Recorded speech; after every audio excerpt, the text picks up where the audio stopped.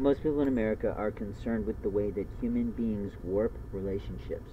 They develop a relationship with someone, they spend time with that person, they invest time in going privately to their homes when other people are away, other people are gone, wives are at work or whatever, and then they pretend that they didn't have that relationship. They literally walk away because at some point they feel uncomfortable with something they produced in their own behavior, they said through their own words, they did through their own questioning, and openly it's always the difference between a boy and a girl, what is felt.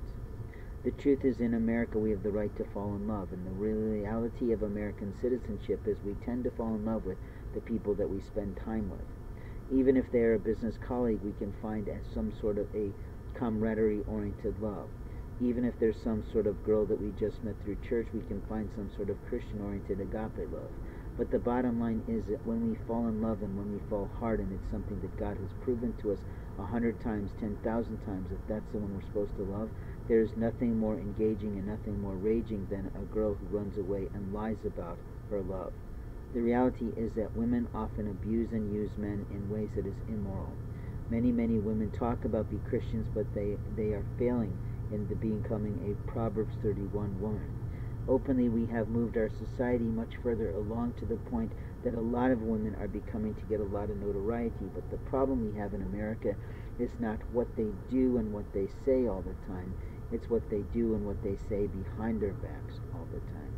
You see, you can't play both sides of a person and expect to have a righteous indignation at the end of your relationship that you chose to exit from. You're the one who invested time, you're the one who invested space, you're the one who invested in embrace, and then you just thought you'd say, oh, I did nothing wrong. That is a childish behavior. It is an immoral reaction. And I can promise you that with the COVID of ravaging the earth and ravaging the plains and ravaging the world, the Lord above is not pleased. So when I talk like this, people think I'm talking about rhetoric. I'm not. This is Biblical Principle 101, and I don't know why you don't get this. Throughout the entire Bible times, there were wars. Throughout the entire Bible times, there was epidemics. Even with my community that I live in, I'm looking at what the fuck are all these crickets doing all over this particular area. And what I realized is we got a pet store, and they're probably selling crickets, and they probably got loose. And now they're prolificating through our communities. But could that not be considered a part of the epidemic or a part of the plague that is upon us?